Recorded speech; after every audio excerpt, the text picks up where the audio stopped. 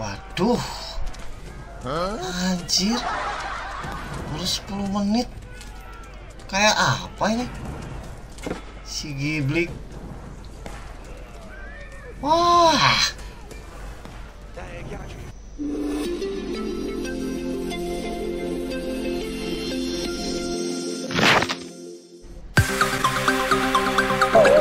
Halo ma bro, ketemu lagi di channelnya Simuni Kita kali ini akan ngebahas game Age of Empire 4 Buat teman-teman yang punya GPU kentang kayak gue di 4GB Lu akan kena warning ma bro. Tapi nggak usah khawatir, lu bisa setting secara manual. Nanti dikasih petunjuknya dari websitenya Age of Empire Official ma bro.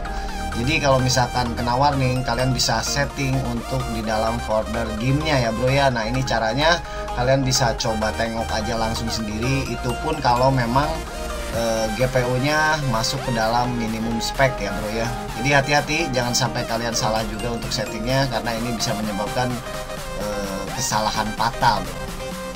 Oke kalian bisa pelajari sendiri ini nggak susah juga yang pasti sih kita akan langsung kontrol dan cek gameplaynya seperti apa dan memang kalau memori kalian RAM-nya menggunakan DDR3 ataupun DDR4 itu minimalnya adalah 8 GB bro grafisnya aku setting ke medium. Jadi nggak burik-burik amat ya yang pasti sih permainannya lancar aja. Oke langsung let's go bro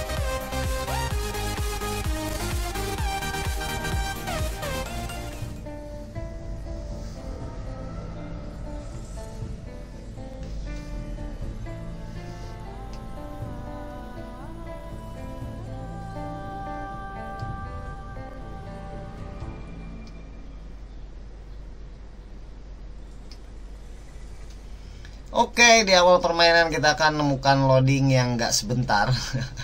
Ini gue pasti skip-skip aja, gila lama banget. Dan welcome to Age of Empire 4. Ma bro, makasih banyak gue ucapin gue bisa mainin game ini karena dikasih oleh temen gue, Bro Cloud Snapjet.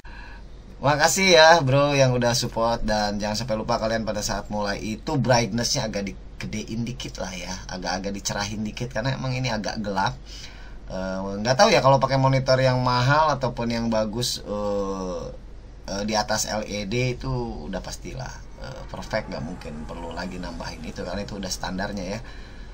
Ya sudah uh, awalan tuh kita pasti ngikutin tutorial dulu.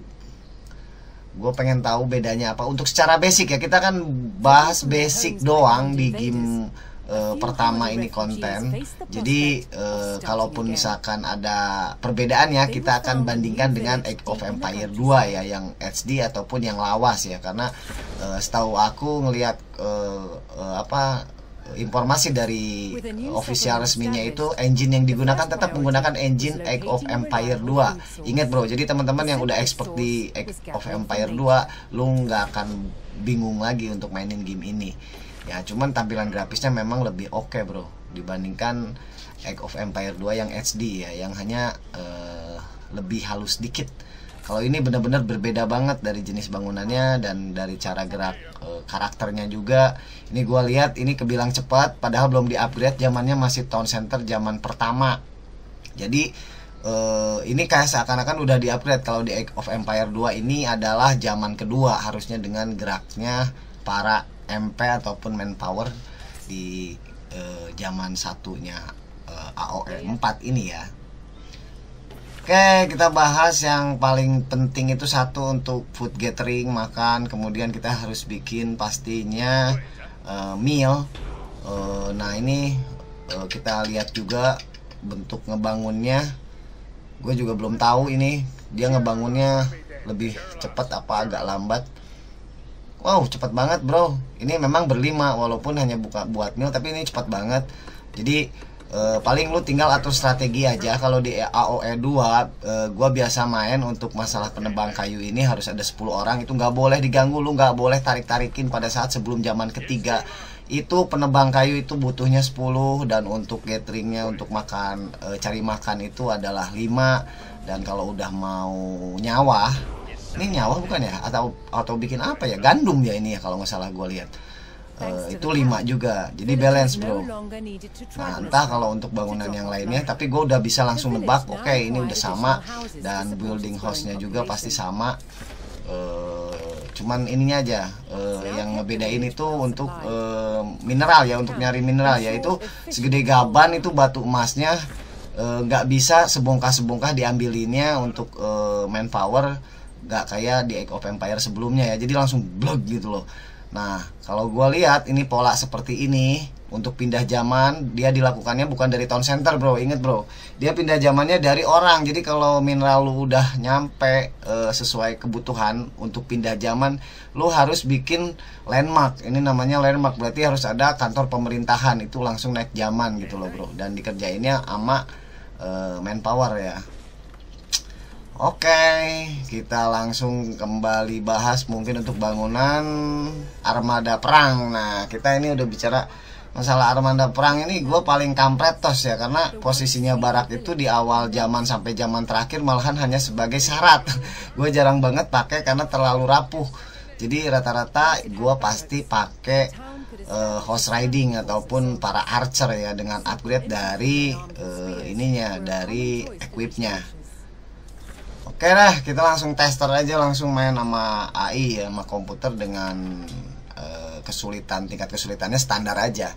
Karena menurut gue yang paling realistis engine Age of Empire 2 itu adalah uh, standar untuk tingkat kesulitannya. Karena begitu hard ataupun hardest wah itu udah nggak masuk akal. Gue pernah buka mapnya nggak di hide gitu. Jadi gue lihat itu cepet banget buat buat ini ya buat tentaranya. Gue nggak ngerti kayak apa dia. Pasti pakai cheat itu.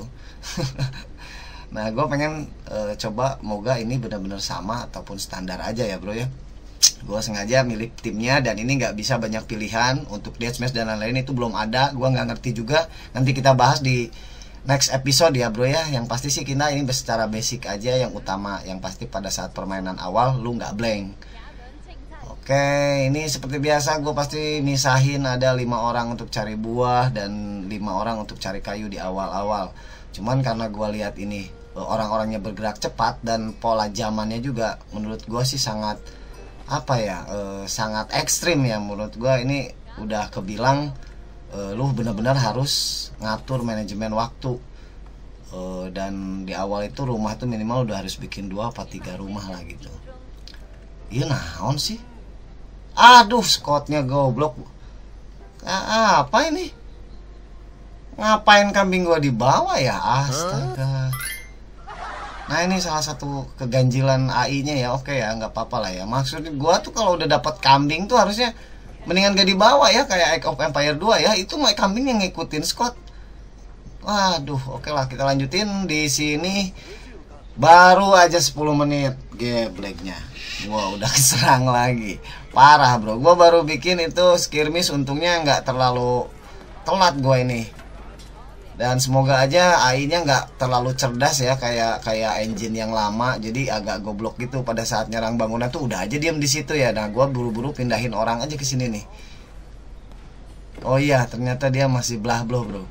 Aman aman. Berarti gue tinggal bikin town center aja. Dan ini kekurangannya town centernya nggak ada lonceng bro. Gue bete bro. Makannya mati langsung itu nggak ketahuan itu karena di town center gue nggak bisa ada shortcut untuk lonceng. Jadi buat manggil para pekerja untuk sembunyi masuk ke dalam uh, castle. Ataupun ya uh, town center ya bukan castle beda emang castle beda. Aduh eh. ya sudahlah ini di zaman kedua gue udah diserang kayak apa ini? Ini moderate eh, intermediate ya berarti standar lah ya. Apalagi kalau yang hardnya kayaknya dia munculnya keluar dari dalam tanah ya bro ya kayak zombie gitu bisa bisa huh? ya udahlah ampun deh ya. Tapi semoga ini nggak diseret jalannya ya karena gue sering mainin game hardest untuk di Age of Empire itu kayak diseret jalannya. Cepet banget. Itu kayaknya ngebug. Nanti gue komplainin ini ke uh, developernya bro Oke deh, moga informasi dasar ini uh, cukup membantu. Nanti kita review lagi di episode selanjutnya dan mungkin gue mau live streaming juga nanti uh, gimana anak-anak ya sambil ngobrol apa aja lah. Uh, dan supportnya juga makasih yang jangan sampai lupa itu kalian subscribe yang belum subscribe dan berikanlah jempol menandakan bahwa, bahwa kalian sangat menyukai uh, uh, channel saya.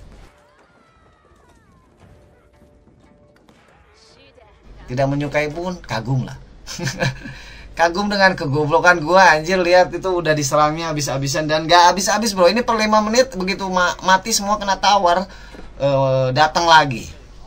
Kayak apa ini? Ampun dah. Banyak. Aduh kambing aku bro. Bro kambing habis. Oke lah. Nah ini mungkin blacksmith ini penting banget ya. Kalian awal main tuh harus langsung upgrade begitu dapat bangunannya. Upgrade semua